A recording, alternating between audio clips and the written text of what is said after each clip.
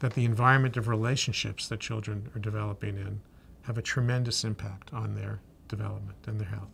And we know that includes a big role for parents. It's literally part of our biology that we require what we call serve and return interaction between adults and young children, where children do something and adult, adults respond. It's this back and forth serve and return interaction that literally shapes the architecture of the brain. For many years, early childhood programs focused on what the children need, building their literacy, building their ability to get along with peers, and so forth.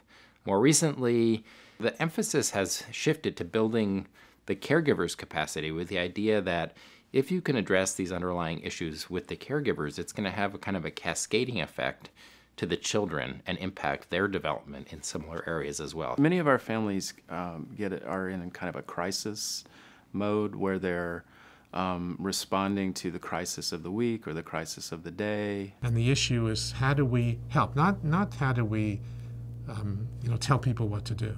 How, do, how can we provide supports to help families above and beyond giving parents information to strengthen their ability to promote healthy development? Really, what's happening with what Children's Home Society is doing now is to work collaboratively with researchers, myself included, to co create a program in the natural context of their agency and with the families that they're serving. So, this is sort of like you know, an evolutionary step forward.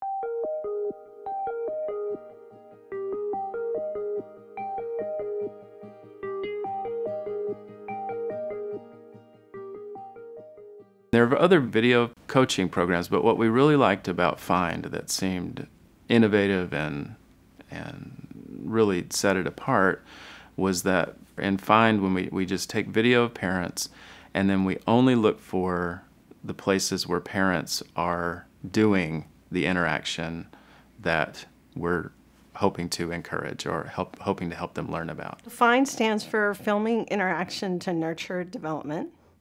Um, and we just go in with like a little flip camera and we watch, we say, you know, just do do what you do. You know, wash dishes, play a game, have a snack, and film the family for about 10 minutes. And then we take that film back and, and edit it. And we're picking out kind of these moments of parent child interaction, the serve and return interaction, which is the child giving you some kind of cue and, and, and, and responding to it. When parents see the video and with their coach and talk about the video, they're only seeing that tiny little moment where the child makes a serve and the parent responds to it and returns the serve in a positive way. The coach will talk with the parent about how it's this type of interaction that's really strengthening your child's brain development. You know, there are different ways that parents can respond, uh, supporting and encouraging. Good job, it fits! Naming what they're doing, which is helping to build a kind of the basic architecture for language and vocabulary. Oh, that's a loud noise the the coach will view those with the parent and there's they, they'll literally go just a few frames and they'll stop and describe okay your child um, just looked at the toy and then you do a few more frames and then you stop and you say and you turn your head and notice that your child is looking at the toy and then you do a few more frames and then you reach for the toy and bring it to the child. And then you say, Is, Are you looking at this? Or do you want to play with this? And look, your child lights up and smiles when you say that. That's, that's what find is. It's just finding those tiny little moments and bringing attention to them.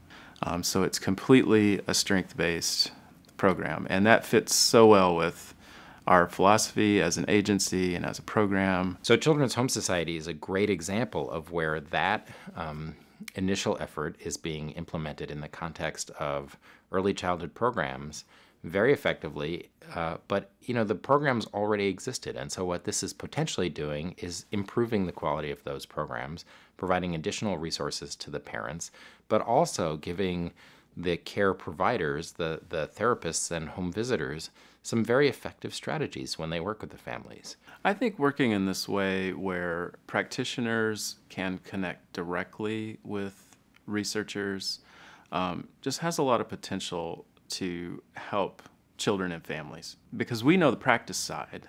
You know, we know our families. Having access to researchers with great ideas about ways to tweak the programs or, or, or new interventions that might plug in to existing programs. I mean, there's no way that, you know, uh, social services people, you know, working in programs in Seattle are going to have access to neuroscientists and top researchers without something like this project. I think now I've, I feel like there are real possibilities to change things.